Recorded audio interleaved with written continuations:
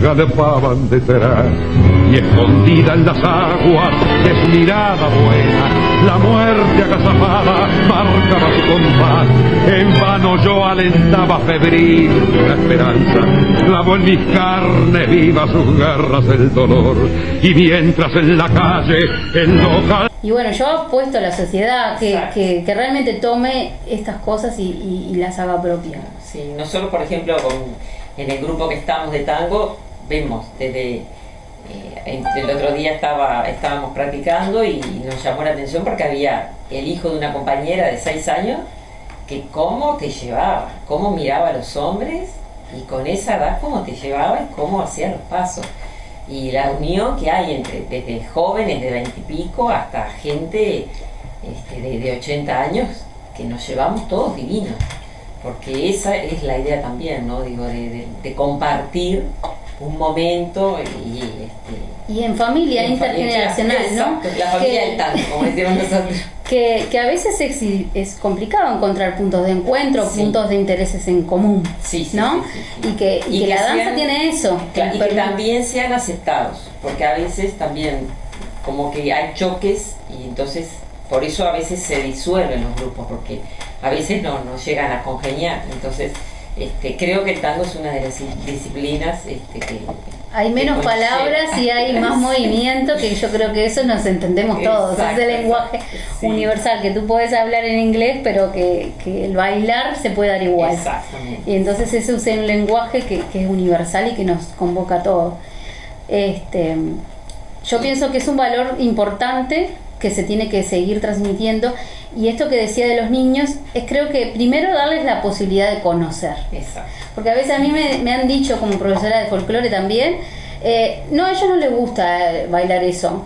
No, y no los chicos no saben, si a veces se lo enseñás y les encanta Sí, después. sí.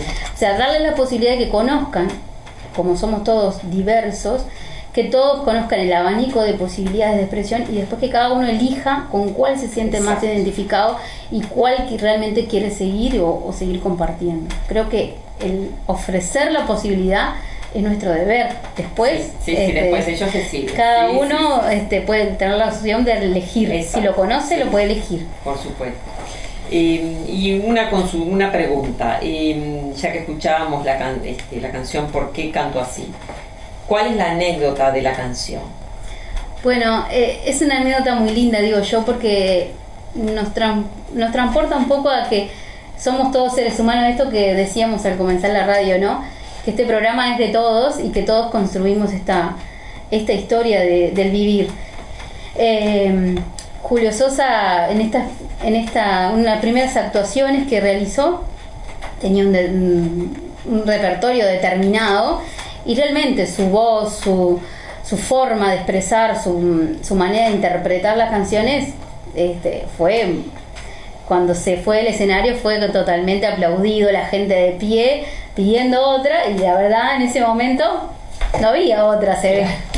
Este, o por lo menos no congeniada con la orquesta. Entonces, eh, él lo que le pide al pianista es que toque algo que él va a recitar para cumplir con ese público, ¿no? Y ahí es donde casi mágicamente se da esto de que él recita, porque canta así, y el pianista toca la comparsita, ni nada más ni nada menos.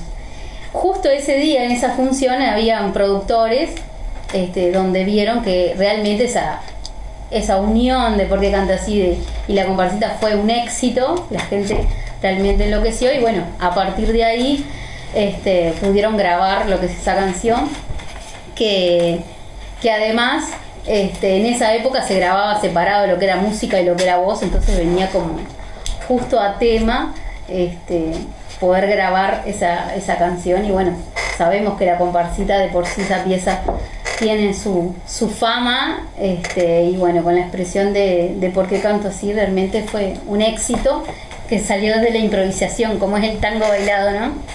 Exacto. Bueno, aquí nos llegan eh, mensajes. Eh, repetir nuevamente el horario del museo. Bien. Sabemos que estamos en pandemia y que ahora está cerrado. En este momento lo estaba usando ACE por el tema de sopados, Bien. pero eh, igualmente les paso horario porque pretendemos que en, en poquito tiempo ya tenerlo con nosotros es de 9 a, 15, a 17 horas, pudiendo De coordinar lunes a viernes. de lunes a viernes, Bien. pudiendo coordinar en otros horarios e inclusive los sábados. Por algún grupo que organice, este, yo te contaba recién también que nosotros hicimos, se hizo un circuito pedrense en el cual se involucraron diferentes lugares de las piedras, que también participan algunas bodegas, este, algunos viveros también. Bien. Entonces se organiza una, una salida donde pasan por el museo, tal vez también por el Parque Artigas de las Piedras que estamos muy cerquita, este, por el Museo del Agua del Vino, por también eh, alguna otra bodega, entonces se hace un circuito, también tenemos el shopping allí cerca, que son diferentes atractivos que hacen a una jornada de Bien. paseo. Ese circuito se hace con la con un vehículo que tiene Sí, la eso lo organizan en realidad, no, en realidad lo organizan desde las desde las bodegas Bien. y ellos hacen un pack con todo lo Ah. con todo el recorrido. ¿Y eso hay algún teléfono para averiguar por el circuito, costos y. Bueno, te puedo pasar en este momento el mío y ahí yo derivar eh, a la persona Bien. Dime, María. 096 096 12 12 66 66 55. 55. Perfecto. Esto sería para el circuito. Muy bien. Para Porque el vamos- también para las visitas, digo, nosotros siempre estamos a disposición de atender las diferentes necesidades. Perfecto. Porque ya que salimos de paseo, salimos de paseo todo el día. y ahí está. Eh, muchas gracias. Nos mandan un mensaje, frecuencia por, tra- por tratar, traernos gente que piensa en la comunidad. Un saludo a María Torres y Patricia. Nos encanta esta propuesta de programa. Ricardo de Jauri Liberni. Gracias Ricardo. Felicitaciones por la temática. En estas zonas, en estas zonas queremos poder acceder más al tango y folclore. Marina de, eh, de Pinamar.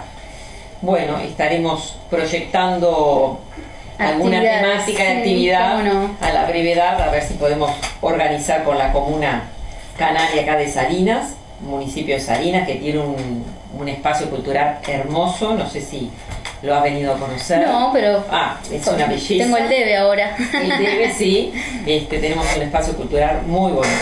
Eh, propuesta de tango para Marina. Eh, ¿Por qué no hay más difusión de nuestra música? Saludos y felicitaciones. Marina de Ciudad de la Costa. Bueno, vamos a tener que el debe con Marina de Ciudad de la Costa. Mi hija quiere aprender a bailar tango. Acá no tenemos nada Qué bueno si se piensa en algo. Saludos, Romina de Atlántida. Bueno, Me parece que me vengo para estos lados. Romina, Romina y vamos a estar en contacto con ella después. Eh, hay lugares este, y bueno, y la idea es este, proyectar después más este, espacio, como habíamos hablado, a ver si podemos hablar con la comuna para traer un poco más de, de tango hacia estos lugares. Eh, acá tenemos otro. Hay que mostrarles a la agurizada que ellos elijan. Felicitaciones. Así se hace radio. Así se hace radio. Gente sencilla. Carolina de Solimar. El carnaval del mundo gozaba y se reía, burlándose el destino, me robó su amor.